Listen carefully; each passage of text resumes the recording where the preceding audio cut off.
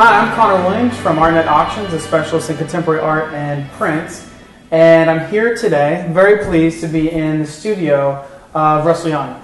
Russell, thank you for having us. Thank you for coming. Absolutely. So, Russell, the last time we saw each other was in New York, and you had a show that opened. And I know you've, you've got quite a bit of attention in New York, here in California, where we are just outside of LA, as well as internationally. And you have some wonderful work in public collections, private collections, and for people who who don't know you though, maybe you could just tell us a little bit about how you came to become an artist because there's a really a wonderful story there. Um, I grew up in northern England.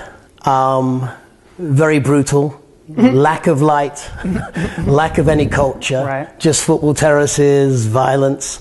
Um, I went to art college, um, spent probably five or six years at art college. I ended up um, with a, an amazing art. Um, an art teacher at the Chester Art College called Jack Straw, who was one of the few geniuses I've ever met in my life and just pushed me and pushed me and pushed me and showed me this way out of all the darkness and the brutality of Northern England. Um, I then went to London. Um, I became an assistant photographer for a guy called Christos Raftopoulos, who taught me how to light, see my own work, um, be criticize my own work more importantly almost than, than, than actually creating it. Right. Um, and then I became a photographer in my own right. Um, I photographed Bjork, Springsteen, George Michael's Faith Sleeve, Right. directed 100 music videos. Um, it fell out of love with me, and I fell out of love with the music business. Um, I moved to California in 91, and then I tried to fall back in love with, you know, the music industry, and I, I, I struggled for many years. Um, in about the year 2000, late 2000, early 2000, I was like really searching for something else. I had been painting my own paintings for maybe 10 or 20 years. Um, ever since I was a kid, I'd wanted to be an artist. Okay. So as the jobs got more corporate and less creative, I think that's probably why I fell out of love with the music industry. It just, there just was no creativity anymore. It's all about just selling, you know, one person's viewpoint of it. And it was normally the marketing director who normally had everything wrong. So I had to make a decision, and my wife was um, seven months pregnant with our eldest son, and I went to Tuscany. I sat, I meditated for a month or so, and I came back and I was an artist. And I rented myself a studio in Brooklyn, and I really haven't looked back. Um, my first series that relates to my former life was a series called Pig Portraits, which um, is mugshots of Right. famous people. Because I took famous pictures of famous people all my life. Right. Suddenly, I'm using these mugshots of Sid Vicious, of Elvis, of Mickey Rourke, Al Pacino. Al Pacino, yeah, and, and, and so I just loved, just loved using these pictures, which were taken by a police clerk, maybe four o'clock in the morning. Um, in the case of Mickey Rourke, you know, I think you know a whole load of stuff had happened. He's there three or four in the morning. This one picture mm-hmm. was better than any picture I ever took of Mickey. I took a whole load of pictures of him, Right. and he always wanted to look cool and hard and mean. And here he is in this mugshot, just looking so cool and hard and mean. And I wanted it almost as a reaction to my former career, which was always about making people look better than they were. I wanted to make them look rough and dirty. Right. But I have a sort of, I, don't, I can't get it out of me. I have a glamorous aspect to the way I Right. um, portray things. Well, my, my favorite from that series is actually the Jane Fonda. oh, yeah. which I I just think of her rebellious years, and I think of that image of her holding her fist up, and I think was she arrested in Cleveland? I, I Yeah, yeah, yeah. Just, uh, just a little and, disturbance and it's beautiful, and it, it yeah. kind of it, it speaks to the glamour that I think you were about to you know, talk about. Yeah, the, the glamour and the diamond dust that you've also included in Yes. a lot of your work. Yeah, most, most of my work deals with two, two aspects really fame and shame. Those, those two. Right. And I've always been fascinated by fame and I've always been fascinated by the darker side. So it was a great way to start really, you know, on another, on another path, really, another route. Um, was because I was using screen printing, which is a photographic medium. So I'd been looking at the negative and positive for maybe, you know, 20, 30, 40 years. And so it was really easy for me to understand texture and light and dark and shadows and negative. Now, you predominantly use screen printing as, as your medium, your, your favorite medium. What is it about screen printing that, that you, you love and seem to enjoy? I, I like the roughness of it. I like um, how immediate it is. Um, pe- people ask me sometimes, you know, I've done some live shows where I've screen printed, and they've asked me, they see me do it in like five minutes or four minutes or however long, you know, Yeah. three minutes or Yeah. one. And they say, well, how, lo- how long does that take to do? And I said, well, you know, either four minutes or 40 years, you know, because it's the history and the learning curve behind it. I, I like how raw and immediate it is. I think that's what excites me. Um, that you go from, you know, I, I, I hand paint a background, a color, and then suddenly in one stroke, here is this beautiful image of, of Marilyn or Elvis or Sid Vicious. It's just so vibrant, and it's just, it's still like magic. You know, it's like when you um, develop a photograph. Before digital photography, you would sit in the dark room and this, this image would appear in the dark that would be red. And it just, it has that magic. It, it excites me. So, where did you learn to screen print then?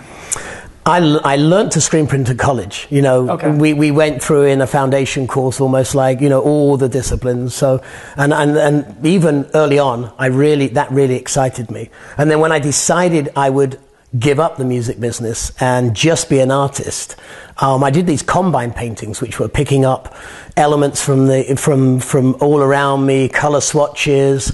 And then I started to screen print these little screen prints to add, o- add on. And it was suddenly when I did those, was, I was like, oh, I- this is what I want to do. Right. It just, I just I guess I have a love of, of the photographic image. Right. And one of your images, the iconic images you've, you've come back to and have often used is, is Marilyn. Yes. Um, some people will call it Marilyn crying or suicide. Yeah.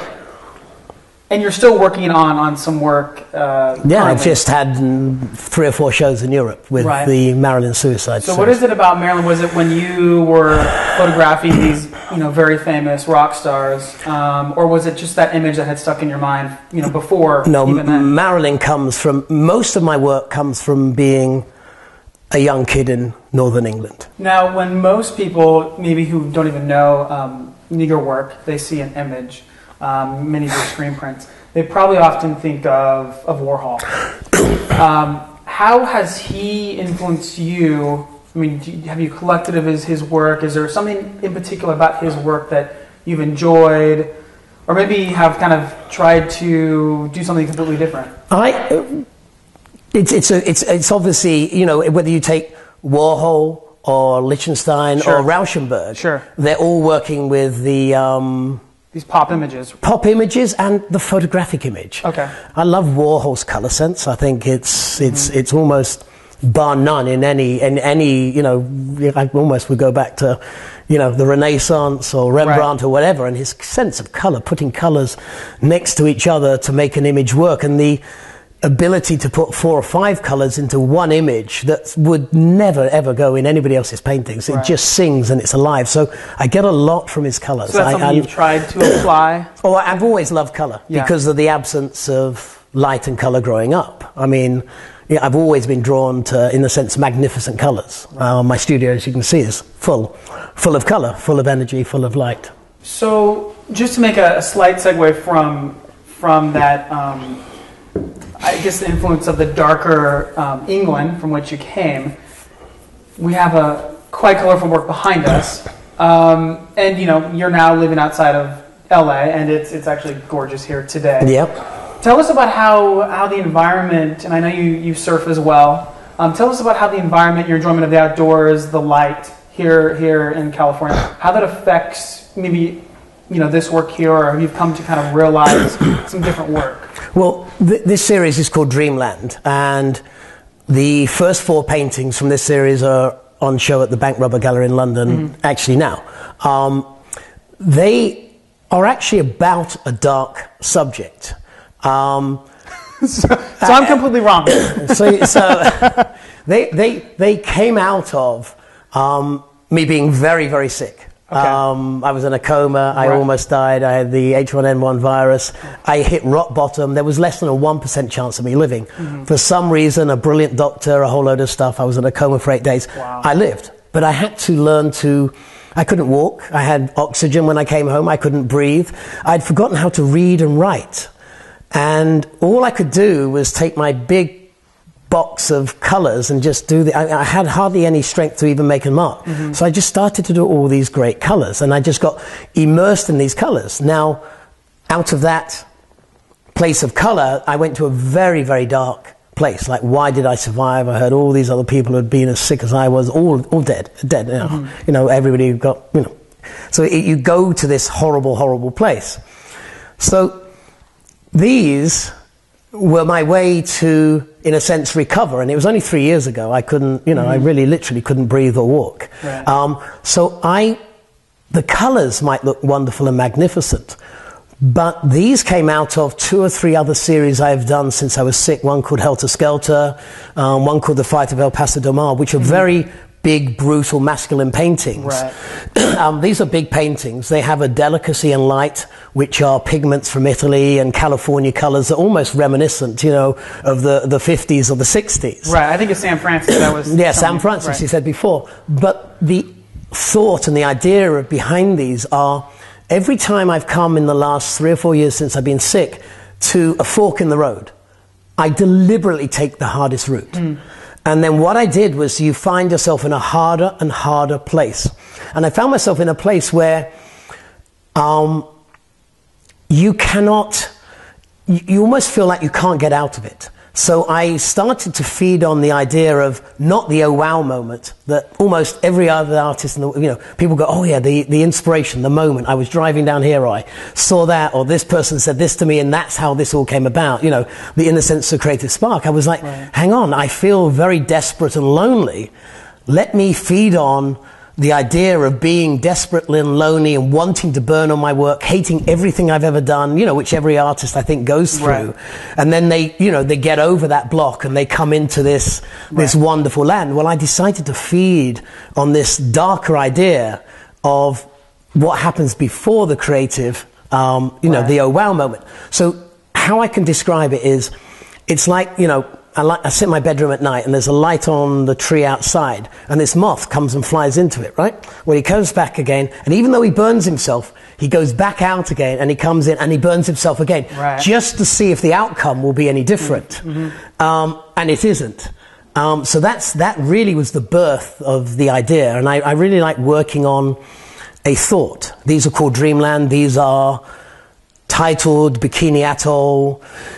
um, they're, they're, they're titled So after the nuclear, the atom Even bomb. in the title, there's something. Yeah, and the atom bombs and everything relate back to my childhood, where the um, BBC, the British Broadcasting Company, was telling all of us to hide under our desks, and we were going through drills as kids to what would happen when the atom bomb comes. Hide under a, uh, hide under a bloody desk. I mean, really, that's going to help, you know.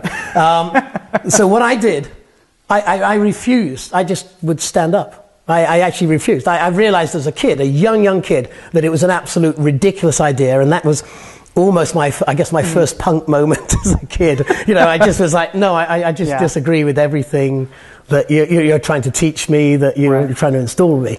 Um, the first things I did in the mugshots was a Sid and Elvis, and my wife came home and she walked into the living room and went, "Oh my God, who, whose work's this?" Who? I said, "I did this. I did it for us. I did it because I want to do it."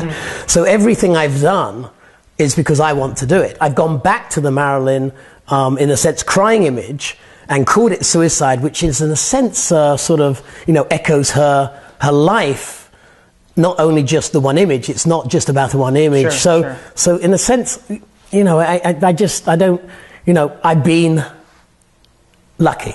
Right. And there's nobody in this whole world that's successful that hasn't got there through luck Mm-hmm. and just hard work and hard work and hard work and hard work. I mean, that's all it is. It's putting the hours in Right. and just working hard. So are you, for a lot of people who obviously don't have an artist studio, um, myself included, um, and maybe aren't uh, accustomed to actually visiting an artist studio, how often are you in this studio? Do you take time off because you're thinking of an idea, or you're constantly working out ideas? What is what is that like day in day out for you? Okay, the, the, the process. It's the process of working, Yeah. uh, as in process of, um, in a sense, creating. The I have a live webcam in the studio. RussellYoung.com, live webcam, 24 hours a day. Mm-hmm. My friends are stunned at how how infrequently I'm here. Now, I have other places to work on the property. I'm in New York working. Um, I'm going to Italy to work this summer for a month, maybe two Sure. months on some series. But I come here and I sit and I think and I sometimes fall asleep in this seat, you know, for eight hours sometimes. And I come, I wake up, but it, it's, it's good. It's a creative process.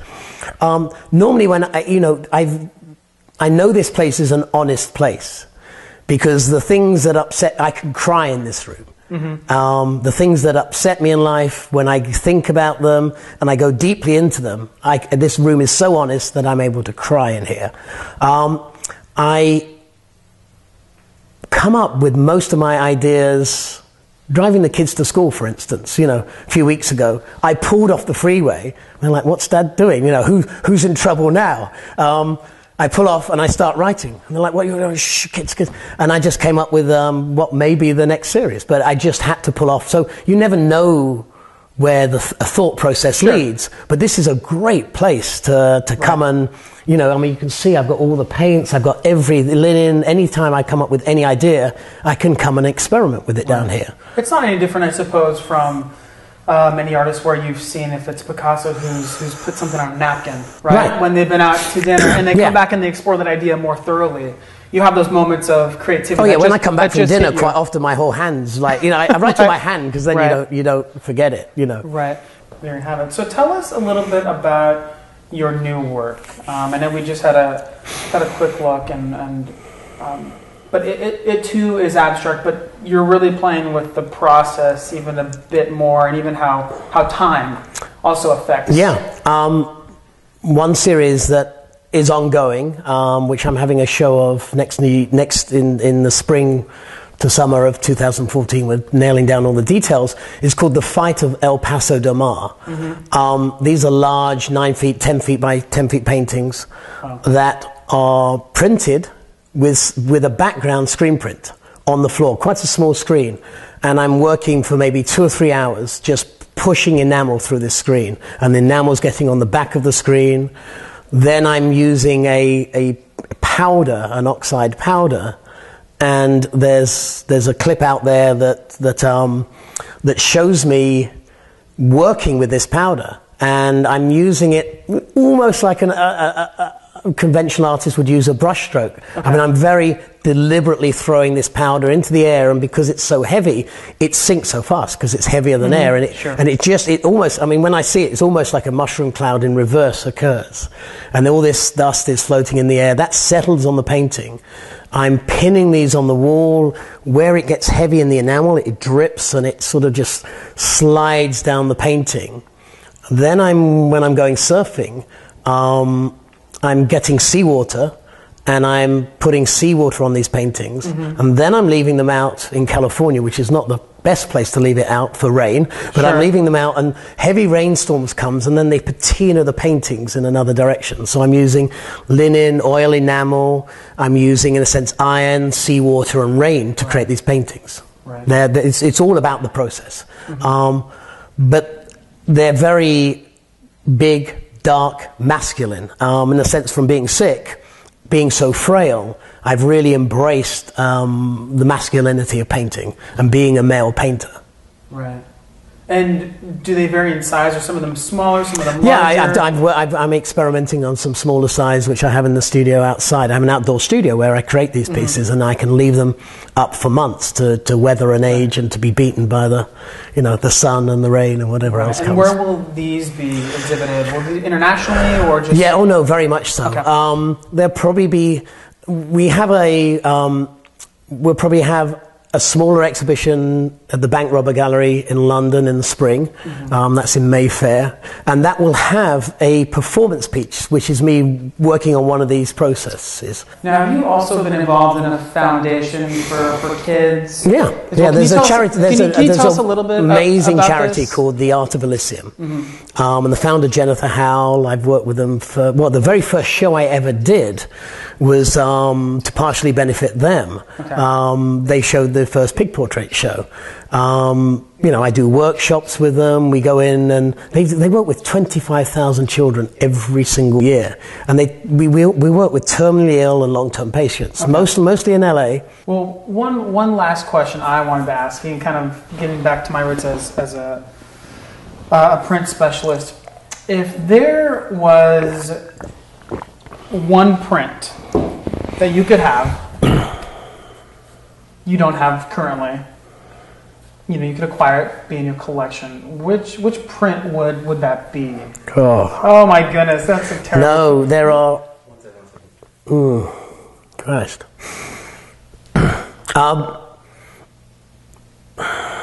You can name a few if, if, well, if, you, yeah, I if mean, you wish. uh, yeah, okay. So of my own work. no, no, no, no, no. Other artists. No, no, but my own work Oh, at the moment, my biggest dilemma at the moment that really struck a chord with me. I, I sort of knew you were talking about other people's work, but my mind just went to my own work.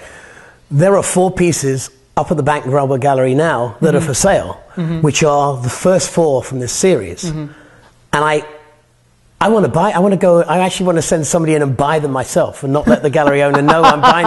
I mean, they are the hardest, hardest thing I have ever, ever had to part with, and I don't want to part with them. You know, I mean, Right. and you know, and as I'm working on these, it, it's like it really has resonates.